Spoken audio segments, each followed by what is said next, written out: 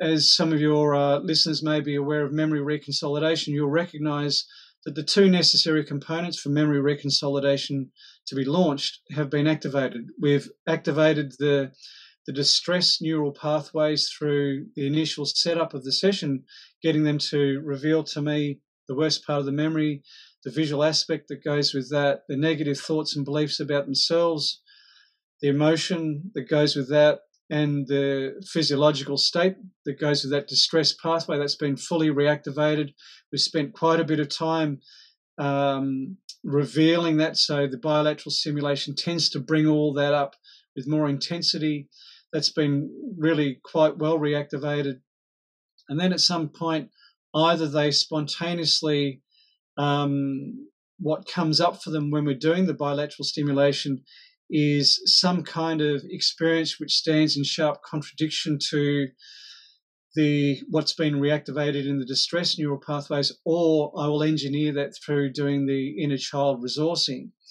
And the person is able to then experience a very different kind of emotional state.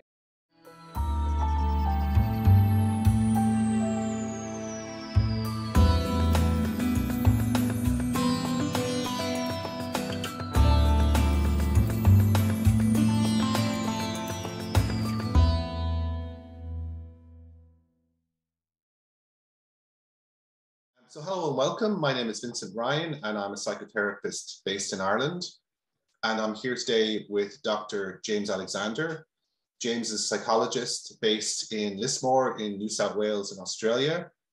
Uh, today's interview is a part of a, of a series of interviews that we're doing around therapists who use experiential frames and techniques in their work with clients. So just a little bit of bio and background about James. So James, as I said, is a psychologist working with individuals and couples and so forth um, in, his, in his practice. Um, he has a particular interest in trauma and chronic pain. Uh, James also um, has a very quite a, quite a long history of working as a psychologist, 30 years, I believe. Um, began out uh, as a cognitive behavioral therapist, then um, retrained or added to that further training to that in brief solutions focused therapy. Um, in more recent times, James has uh, trained in EMDR, and I believe that's a big part of his work now, and hopefully we'll get into that in a little while. And he also has quite interest in the work of Bruce Ecker and coherence therapy, which is something hopefully we might be able to touch on. Um, so James, you're very welcome. Thanks for having for for for us for thanks for coming today, I should say. Thank you, Vincent. It's great to be here talking with you.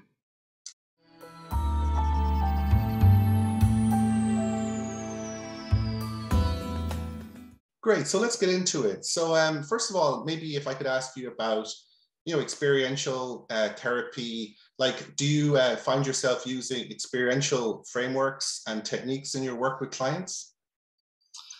Well, look, as you said in my in your introduction, probably for about the last fifteen years or so, I've been working primarily with EMDR, and uh, I view that as being inherently experiential in that when we're conducting an EMDR session, we're dealing with the the lived experience that a person has in that moment, primarily in relation to memories, but the memories are something which is reactivated in the present moment during the therapy session.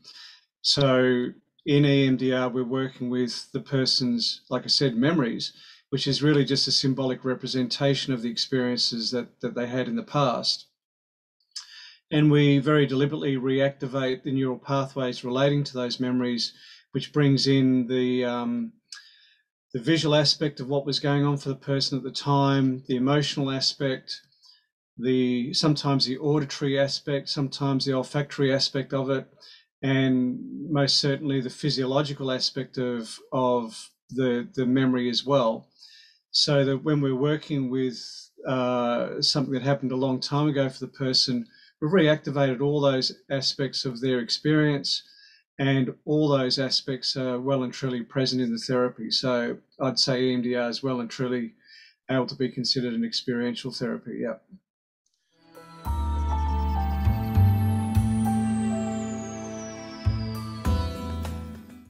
And could you say a little bit, James, about what do you find about this that's very powerful in your experience? What, what what's kind of really good about this way of working? Do you think?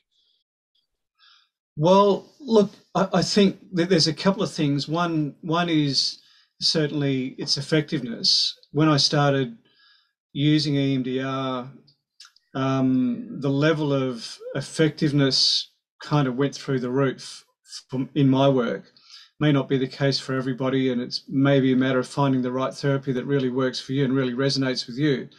But for me, um, the level of effectiveness just became so noticeably better that uh, rather than often being a, a, very frustrating type of experience, most of my therapy sessions became extremely rewarding in that I began to see fairly quickly, you know, very, very large noticeable differences in, in the client's experience of uh, primarily the memories that we we're working with and how that then translated into their day-to-day experience without carrying the burdens around those those memories. Um, so the level of effectiveness just rose exponentially, and that was um, a great thing to encourage me to keep on using it. Also, during the session, um, in in it using EMDR, it's quite an active process. So uh, we certainly need to spend time listening to the person, getting a sense of what their experience has been, what their experience is now, what they bring with them into the therapy session, what their current difficulties are, how those current difficulties relate to previous experiences, what that connection is. So we certainly spend a great deal of time listening to all that, taking that information in, uh, engaging in case formulation about the relationship between their previous experiences and what's going on for them now. And of course, we all know that people primarily need to be listened to in order to develop the kind of therapeutic relationship which is necessary.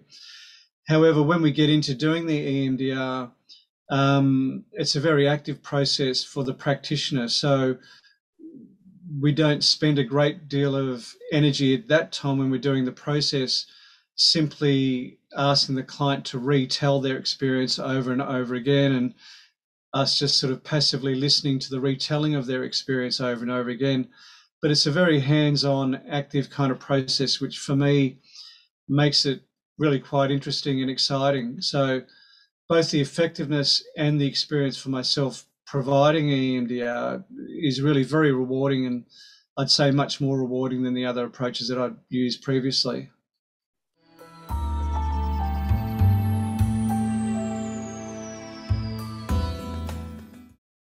And then sort of like when you think about, you know, when it's somebody new comes to see you, a new client, you're talking about sort of listening and, you know, doing your formulation, you know, kind of talk talking about what's happened for the client, how it's affecting their life today.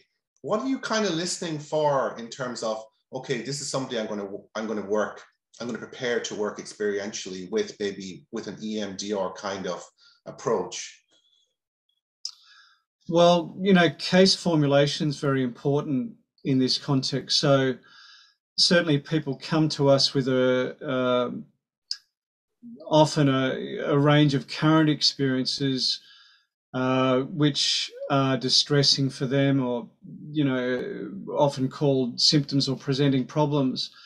And in terms of EMDR we're wanting to get a sense of whether they're presenting problems now relate to experiences that they've had in the past and whether the, these past experiences have set them up and basically sensitized them to um, experiencing the problems that they are having in the present time. So, what we're primarily listening for initially, at least, is um, trying to information that will give us a sense to tie in both the past with the present.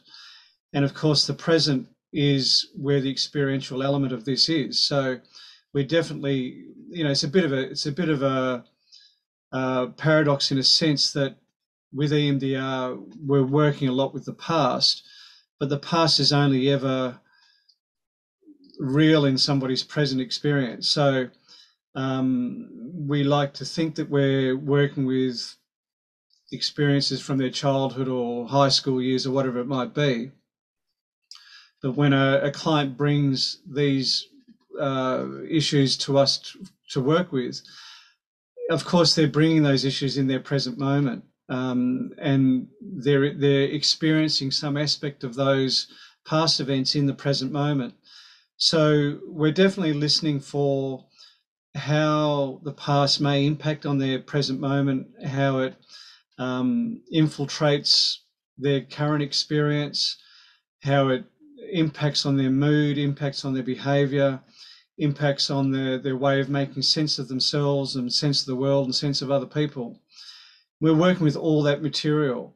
Um, as I said, it's a bit of a paradox that we spend a lot of time working with past experiences, although not exclusively. Working with the past is only one of the one of the three phases of EMDR. It's where we spend a lot of the time working with the past experiences, but once we've finished working with those, we move on to what we call the current triggers. So it's quite possible for us to help a person to become far less affected by memories of the past, but for them to still be triggerable in their in their current experience. And when that's the case, when we finish working with the past experiences, and we move on to the second phase, which is working with the current triggers. And this is essentially the things that are going on in their lives now, which have, still have the power to generate a lot of distress for them. So we spend a fair bit of time at that point working with their current experience.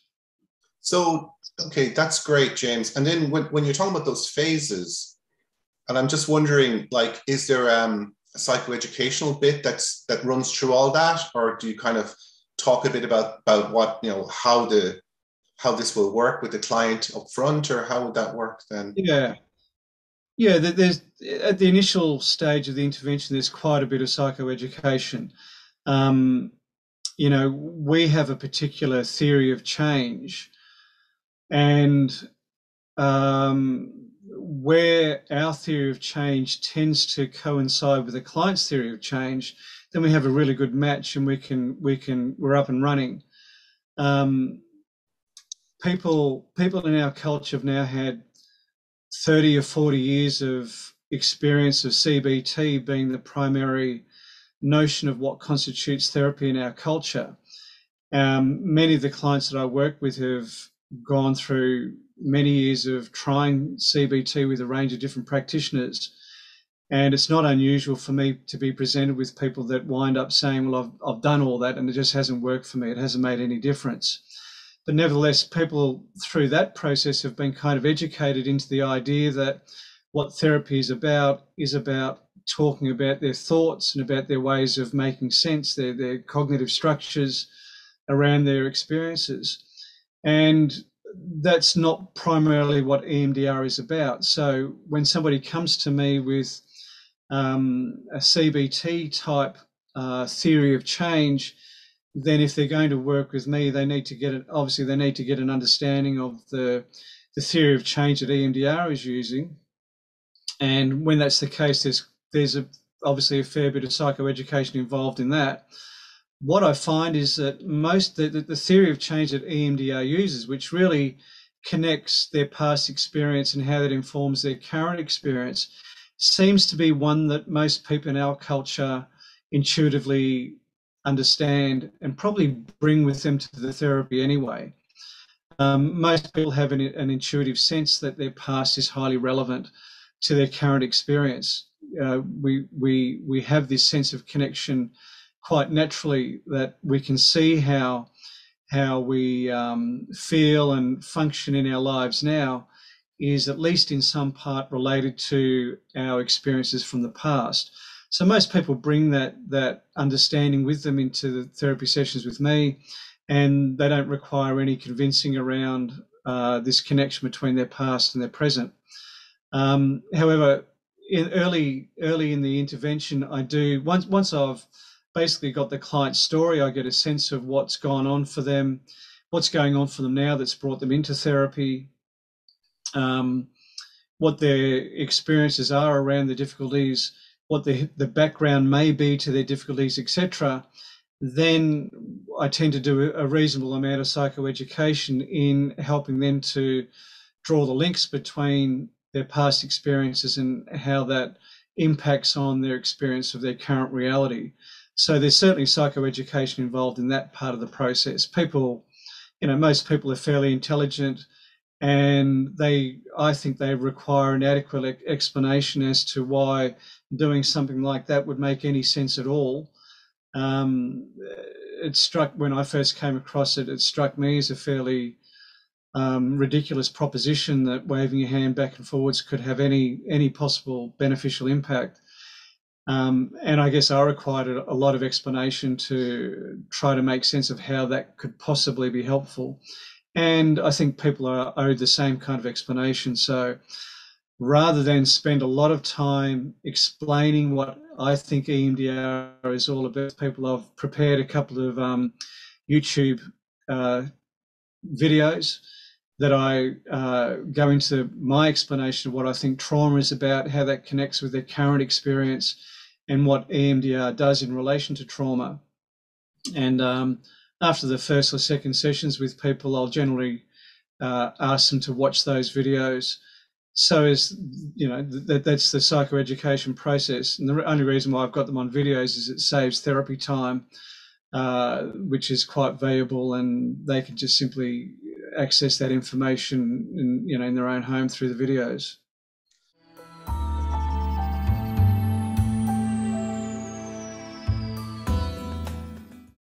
I'm just wondering, James, if you could kind of maybe flesh out a bit for us how you work experientially with the client. Like, what does that look like then?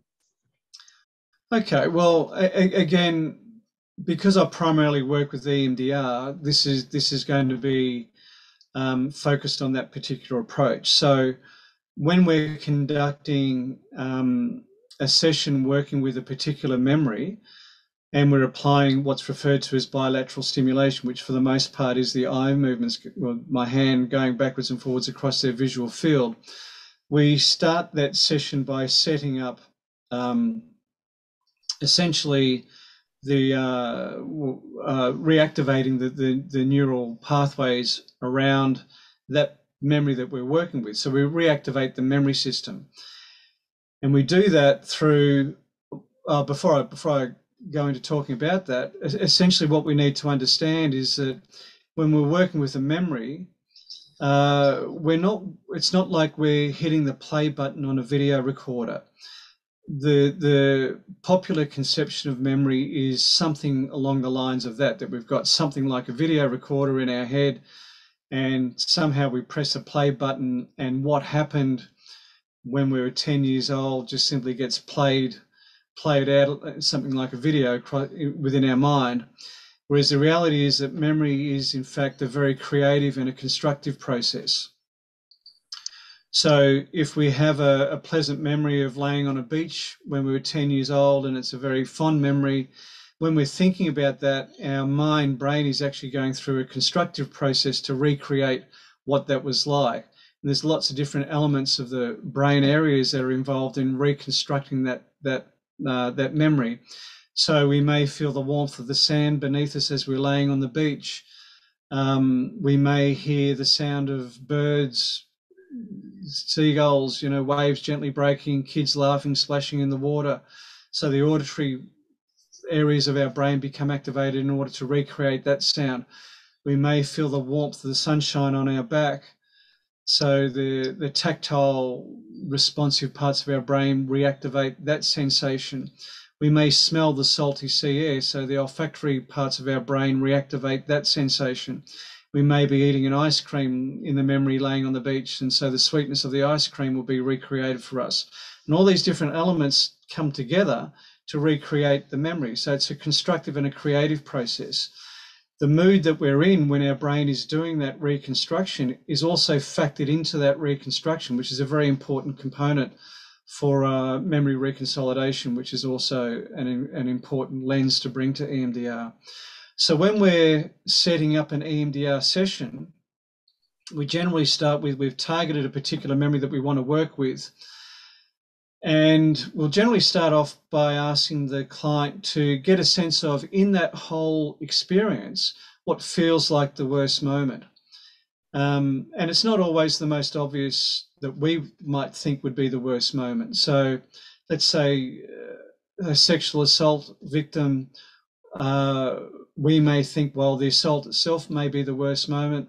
However, when we're speaking to that person, they may reveal that the responses of others around them when they reveal that they've been sexually assaulted may have been the worst moment for them. So it's not always obvious. We can't just go with what seems obvious to us. So the client reveals what feels to them to be the worst moment in that memory. We'll then ask them, uh, what's the visual picture that comes into their mind's eye that, that captures that worst moment? And so the client will describe to us either something like a movie scene unfolding or a, a snapshot photo. We then ask them, when you're in touch with that picture, what's the negative thought or belief about yourself? So there's a cognitive element that, that is always factored into our experiences as well. And typically, when people have been through traumatic or adverse experiences, somehow we manage to wangle in there something negative about ourselves, either I'm not good enough, that's why this terrible thing happened to me, or it's my fault, or I can't cope with with terrible things happening, or um, I have no power to defend or to protect myself, etc. And so that's going to be part of the memory, the memory uh, as well. So we we ascertain that from people, and then we get them to look at the picture, uh, tune into the emotions that come up for them when they're in touch with that picture, Often it's, you know, sadness, fear, anxiety, might be anger, etc., embarrassment, humiliation, etc. Um, bringing also into the equation the negative thought or belief about themselves. And when they're holding all those, what do they know is going on in their bodies? So we get them to really tune into their bodies. And if anybody, any of your listeners are aware of polyvagal theory, you'll be aware that when we're in a highly distressed state, the we tend to feel that distress physiologically somewhere down the vagal nerve, which can include the stomach, anywhere in the stomach, the chest, and the throat. And so, very typically, people will report they feel, you know, an odd sensation in their stomach, a disconcerting sensation, or a, tense, a sense of constriction or tightness in their chest or in their throat. But it's often not contained to that. So, people will often report physical sensations from any part of their body and I suspect that probably has to do with their mind brain reconstructing the experience. And if they've got a tension in their shoulders or their fists are clenched or they've got tingling sensations in their feet or legs, then more than likely they actually had those sensations when the bad experience was happening in reality. And as part of the, the, the reconstruction that their mind brain does, it brings up those physiological experiences as well as part of the memory package. So once all those have been brought into the person's field of awareness through responding to the questions that I've been asking them, we consider that that the memory network has been reactivated and that needs to happen in order for any real therapeutic change to occur. So it's simply not enough to have people talking ab- about their distress, talking about their experience without actually being reactivated into that place. They they really need to be reactivated into that that uh, memory experience through the physiological awareness of what's going on in their bodies when they're in touch with it, the emotions that come up for them when they're in touch with that memory, the visual aspects of what comes up for them. Sometimes clients say that certain sounds occur to them. So people that have been in combat experiences or in car accidents will often report hearing the sounds of explosions or the sounds of cars crashing. Um, sometimes people will say that certain smells or fragrances occur to them, which are not in the current environment. So we know that memory is highly associated with, with smell, with the sense of smell. Uh, so it's not unusual for people that have been assaulted by somebody that that had a particular aftershave or perfume or fragrance or the smell of alcohol or cigarettes or whatever to for that to become uh, to come up for them when they're undergoing EMDR as well. So all these different aspects of the experience that they had in the past get reactivated in the present. And as I said before, even though we're dealing primarily with past experiences, we're dealing with them in the present moment. And because it's a present moment, it means that the brain is actually reconstructing, it's bringing together all these different elements of the experience to reconstruct the memory. And all that's occurring in the present moment. So that's, once that's been reactivated for the person, we then administer what's called the bilateral stimulation, getting them to follow my hand backwards and forwards across their visual field. We do that in sets of about 30 seconds or so. The basic instruction for the person is simply to follow my hand with their eyes and just notice what comes into their awareness as their eyes are moving. Uh, they don't need to try to make anything happen or to make anything come into their awareness. They also don't need to try to stop anything from coming into their awareness. It's a reasonably passive process for them. The request is simply that they follow my hand and just notice what does come into their awareness. And what comes into their awareness will typically be in the form of there could be more pictures. Again, it could be more movie scene unfolding or more still shot photos. It could be thoughts or words or ideas pop into their head, different perspectives. It could be different emotions that rise and fall in succession. Uh, it can be different physical sensations that come and go for them in different parts of their body. It can be different sounds and different smells or fragrances that occur to them. They don't have to do anything with what's coming up for them, they're just simply noticing it. After 30 seconds or so, we stop. I get them to take a deep breath and clear their mind as they breathe out. So, whatever it is that came up for them during that 30 seconds, the instruction is just to let it go with the out breath and then just to simply notice what comes into their awareness at that point in time once they've breathed it all out. Whatever comes up for them, again, it could be in the form of pictures or thoughts or words or ideas, emotions, physical sensations, etc.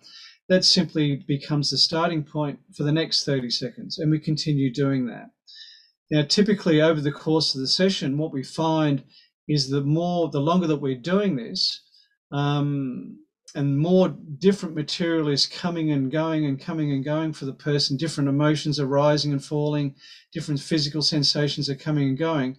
Typically, by the end of the session, the person, in response to the questions that I'm asking along the way, the person is typically able to answer that they can still get in touch with that memory. The EMDR doesn't change autobiographical memory, and I wouldn't touch it with a barge pole if it did, simply because I think we need to have our memories. They they inform us about how to proceed in life.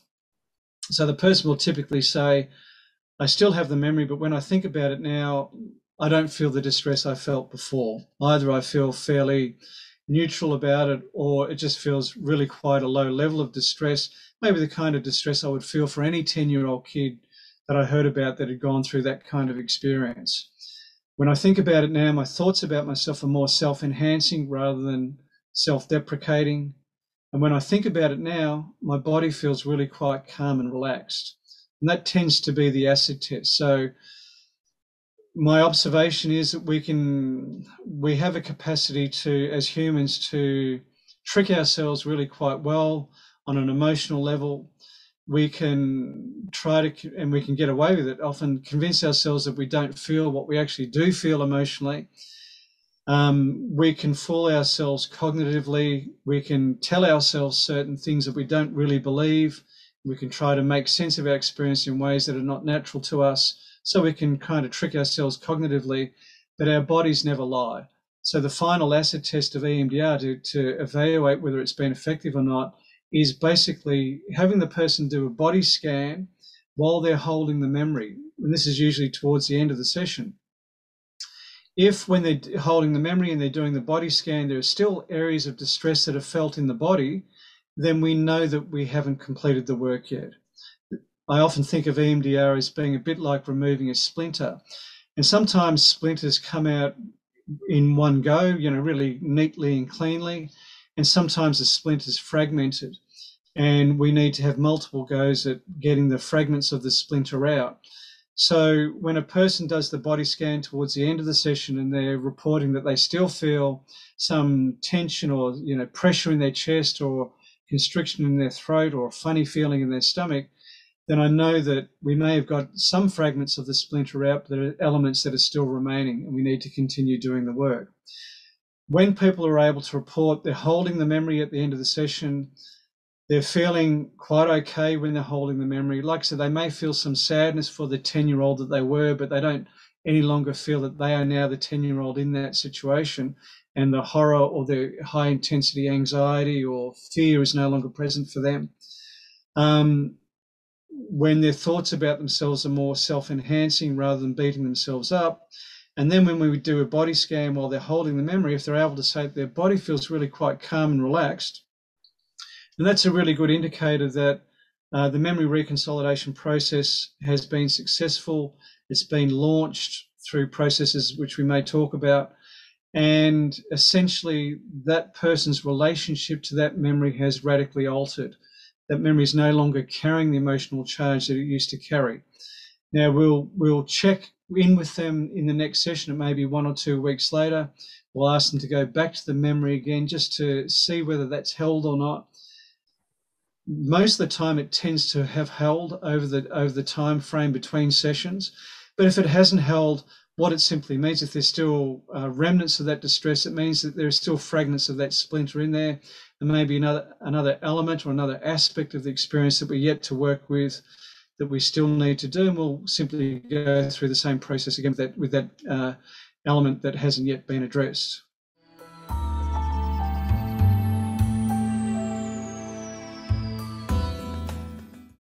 Just wondering, James, you know, when you're kind of working with different clients, I imagine some of them kind of take to this more naturally in an experiential way than others. Do you find that there's some clients where you know, it doesn't kind of the experiential side of it, this, you know, this resistance or, you know, it's resistance is maybe not the right word, but, you know, it, it maybe needs to be adapted in certain ways or what do you find with that with different clients? I'm just wondering about that.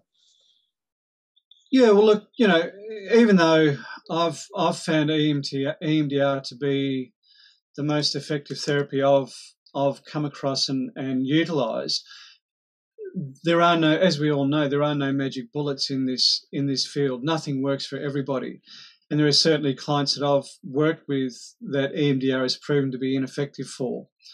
Um, my observation is that it, it is effective for most people that I've worked with, but not with everybody. So, with those that it's not effective for, then I need to develop a, a plan B, which you know, it may involve referral to somebody else that provides a different kind of approach. Um, one of the one of the, the standard modifications that I use with EMDR, a stand a, a modification to the what's called the standard protocol, is uh, utilizing uh, inner child resourcing when I'm working with the person. So most of the people that I work with um, are not coming to me with uh, an adult onset one traumatic experience kind of scenario. Occasionally, I do come across people like that. You know, they've had a car accident or they've been involved in an act of violence, and that's the first horrible thing that's happened to them in their lives. But most of the clients that I work with are people that have generally got an extensive history of trauma and distress and maybe the recent car accident or the recent act of violence is simply the last of a long succession of horrible experiences. And very typically, the horrible experiences tend to go back to their childhood. So um, we're talking about overt acts of violence to children, which are unfortunately quite common. Uh, sexual assault, verbal, physical, emotional violence, etc but also um, developmental trauma where the problem is not so much what was done to the child as much as what the child didn't experience from their caregivers. They didn't experience the love, the care, the uh, nurturance, etc. So very typically, and and and and quite a lot of the time, I'm working with people that have experienced both that developmental trauma as well as overt adverse life events through the form of uh, violence, etc. So, very typically, um, we need to go back to working with those kind of experiences first because they have been the foundational building blocks upon which all the other subsequent experiences have been added to and the kind of sense that children arrive at about their own worth, about the nature of other people and the nature of the world in general, whether it's safe or a dangerous place, has been created through those early experiences.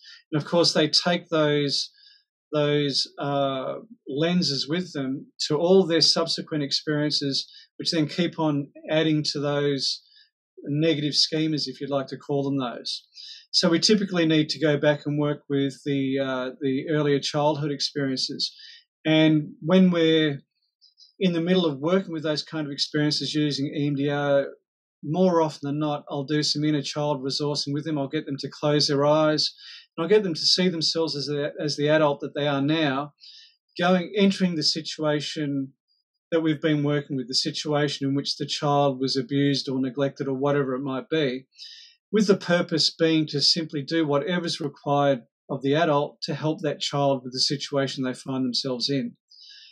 And uh, my experience, my observation is pretty well everybody, just about everybody, has a good sense of what they needed as a child, what was not done to help them. They have a fairly good sense of what they need to do to help the child that they were. And most people are very able to use their imagination and re enter that scene you know, extract the child from whatever the dangerous situation was and nurture them, protect them, hold them, uh, be kind to them, do whatever's required to help that child with the experiences of what they're what they're going through. Typically, that's going to create a very different sort of emotional experience for the person. So, once they've managed to do that, I'll then ask them to get a sense of what it, does it feel like for the child to have the adult version of them there holding their hand or hugging them or taking them away from the dangerous situation letting them know that they're safe letting them know that they're a valuable person that they're cared for they're loved etc and the clients are generally able to sort of tune into what that's like for the child and report things like well i feel safe i feel valued um, I feel okay as I am. I feel like a worthwhile person, etc. I get them to step into what that feels like for the child. See if they can put themselves in that position and step into that place of feeling what it feels like to be valued or nurtured or safe or whatever it may, may be. And then once they're in touch with that and getting a sense of where they feel that in their body, and generally it's going to have a very different kind of physiology associated with with the the, the nurtured experience for the child.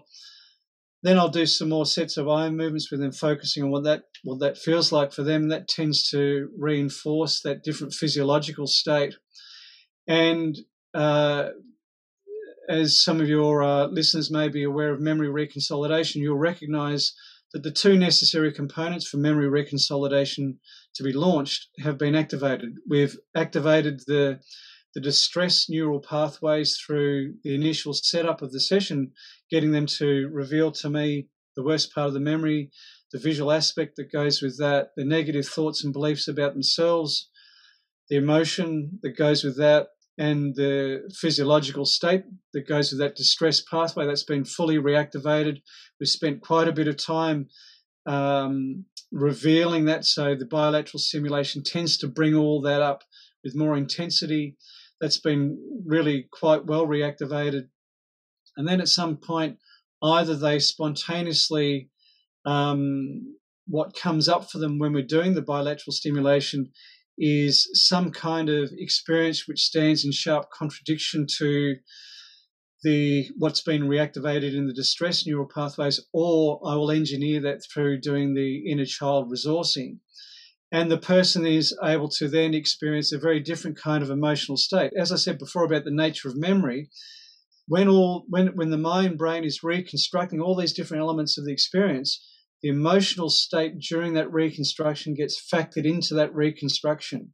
So when the person, so let's say through the inner child focus, being able to feel safe and cared for and worthwhile, then those feelings actually get reconstructed back into that memory network. And that's essentially what memory reconsolidation is all about. So the distress that's attached to that neural pathway has been um, somewhat eradicated, and in its place comes in these different feelings of feeling worthwhile and safe and highly valued, etc. And that now becomes part of that memory network. And that's essentially mem- memory reconsolidation, which EMDR is one of the, the many forms of transformative psychotherapies that, that uh, generate memory reconsolidation.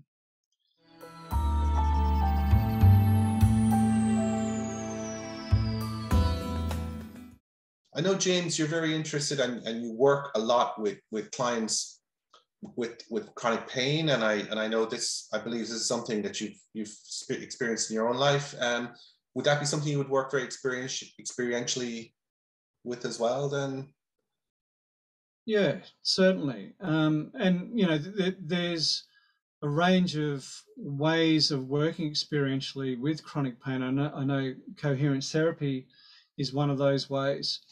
Um, I think any any form of experiential approach to chronic pain has a far better chance of helping people to resolve it than any non-experiential approach. So the non-experiential approaches to working with chronic pain are primarily CBT.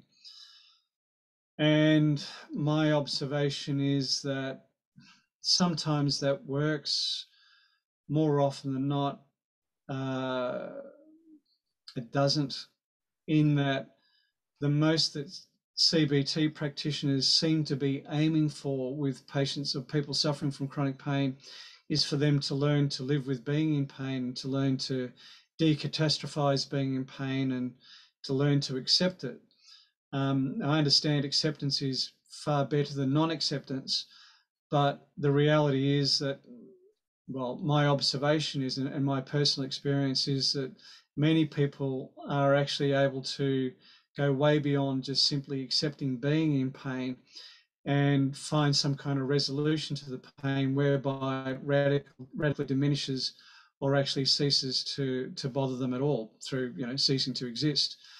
Um, I haven't come across any non-experiential way that helps people to resolve chronic pain when I say resolve, as I said, it means either radically reducing the pain so it's no longer as problematic or actually the pain ceasing to exist at all. Um, but I have come across a, a, raft of different experiential approaches that seem to have the power to do that, to bring people to a point of non non pain.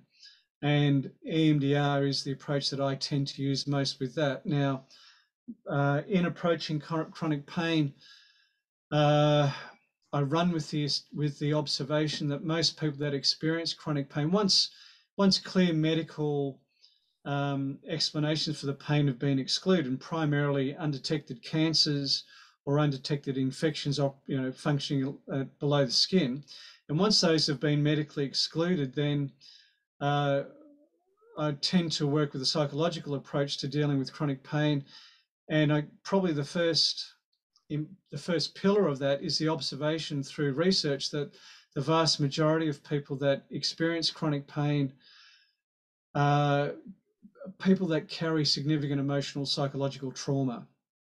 I think it's around the 80 something percent. So there's a very strong association between psychological trauma and the experience of chronic pain to such an extent that I would have to say that uh, our mind brain is able to express trauma in our bodies.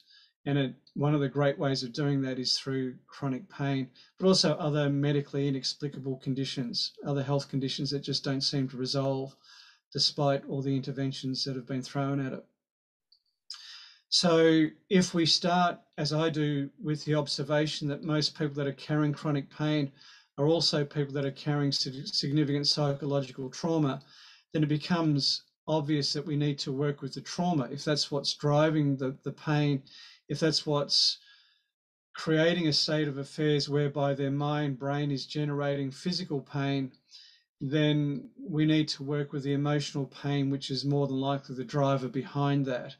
And again, I use EMDR to work with the um, with the uh, adverse life events which have created the burden of distress uh, from which our mind brain generates the very real physical pain.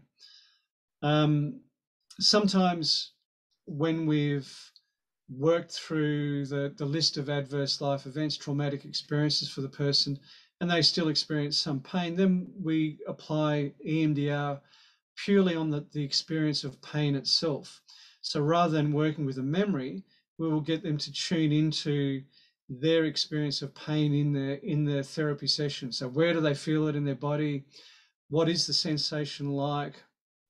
if they could describe it by a color, what color would it be? By shape, by size, by texture, all these kind of ways of relating to the pain where they feel it in their body. We also uh, get from them the negative views that they have themselves because of the pain. So it's quite typical that people that have protracted chronic pain also beat themselves up about the pain. They view themselves as being inadequate or as having failed in some way or as being hopeless and helpless.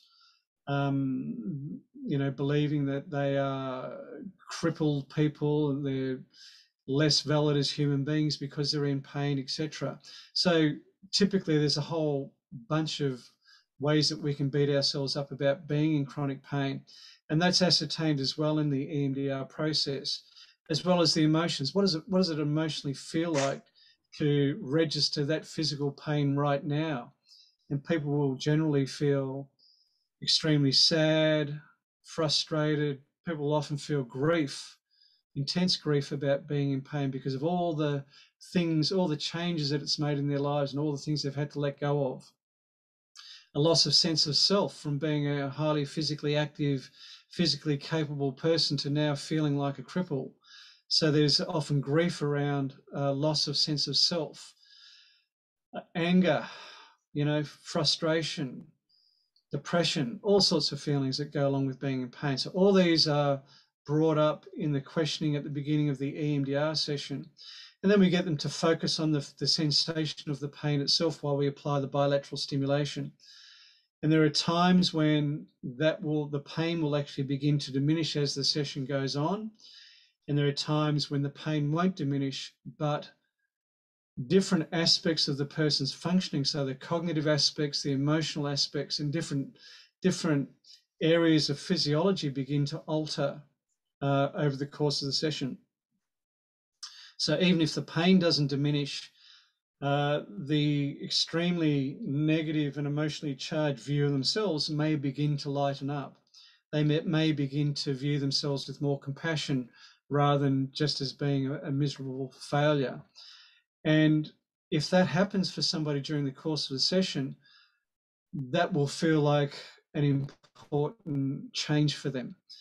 Um, if they can begin to feel more compassionate about themselves in general, in spite of having chronic pain, then that has has has it starts a process of altering their experience of themselves vis-a-vis the pain.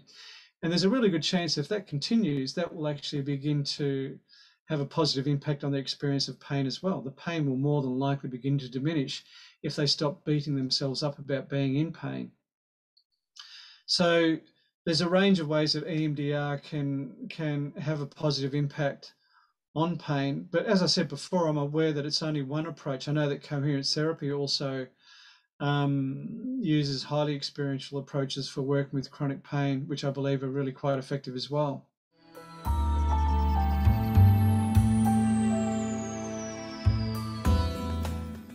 So you know, you came you came from a very traditional cognitive behavioral training uh, 30 years ago, and you did the solution focused, brief solution focused training shortly after, and now you work in this very experiential way. And what would you kind of what would your message be for maybe your younger self, if if you like, uh, if you think about it that way, or or other people who are not so familiar with this way of working and just maybe just don't know much about it?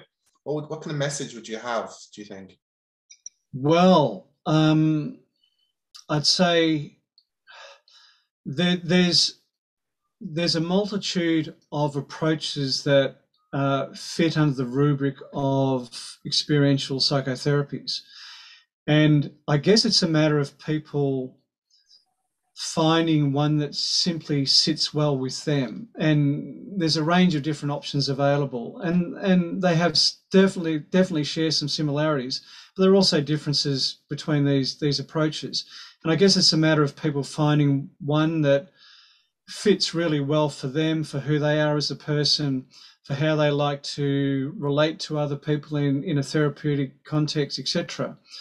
So there's a bunch of options that are available for people. And I, I guess that's that's an exploratory process, which for some of us will take many years, and some people might luck upon that very early in their careers, and that may come down to being just a matter of luck. But if there's one book that I would suggest people read at any point in their career, whether they be starting out as a therapist, as a new graduate, or they're a seasoned therapist, if there's one book that I would, I would recommend people get hold of, read, and actually study, is Unlocking the Emotional Brain by Bruce Ecker, uh, Tully, uh, sorry, Hulley and Ticic. And I'm not quite sure of the year that that was published, but I'm pretty sure it's just a little over 10 years ago now. And in that book, the authors describe um, the importance of memory reconsolidation as it relates to psychotherapy. Now, um, Bruce Ecker was, he started his career as a research scientist, so he's very capable of plowing through very dry scientific research articles and something which I tried to do in regards to memory reconsolidation, and I found it almost unintelligible. But because Bruce Ecker uh, is also a research scientist, he was able to go to the original sources of research around memory reconsolidation and essentially translate that into meaningful terms for psychotherapists. And that's what is in Unlocking the Emotional Brain. So it contains the most important aspects of neuroscience research as, as it relates to memory reconsolidation, a form of neuroplasticity. And it translates that into terms which are intelligible for psychotherapists. The beauty of, I was going to say the beauty of the book, there's quite a few beauties of the book, but one, an additional beauty of the book is that the authors present a range of different transformative psychotherapeutic approaches, and it demonstrates how each of them utilize memory reconsolidation to produce the therapeutic outcomes that they do. I think there's probably about six different approaches that are provided with case study examples and an analysis of how each of these different approaches are uh, utilizing memory reconsolidation.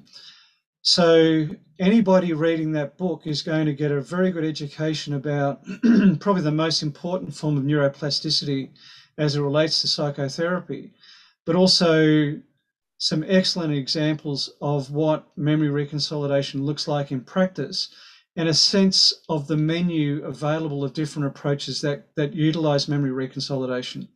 So if if I as a as a as a new graduate came across and read one book, I wish it had been that one, and it may have um, got me onto stuff that was most effective pretty early in my career. But it's never too late to start. It doesn't matter where people are in their careers. Um, we're all aware of the need for ongoing education and to keep on reevaluating what it is that we're doing and trying to improve our practice. So I'd really highly recommend that as probably the one book that any therapist should read. Yeah, and I, I can heartily agree, James. I certainly, when I came across it, I, I, I had that same reaction. It was I was very glad I kind of discovered it, and it's a very great read, and it does draw together a number of different therapies um, around the themes that that are what we're talking about, like that memory reconsolidation and working with memories in that way to transform, to bring about transformative change. So I, I, I heartily agree with your recommendation there today. Mm.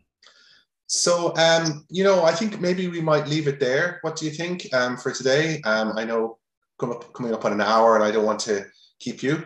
Um, starting. You're starting the day over in Australia. We're we're finishing the day here in Ireland. Um, mm. So, I just want to say very a very warm and and heartfelt thank you, James, Dr. James Alexander, for coming here today to talk to us about your work and uh, you know hopefully we might um, get you back at some stage and maybe you know go into some of, some of those topics in a little bit more detail or maybe take it in some new directions uh, what do you think that'd be great. Yeah i'd love to do it. Thanks very much for the invitation. I really enjoyed the chance to talk with you about the stuff that i'm i'm passionate about. Thank you. Yeah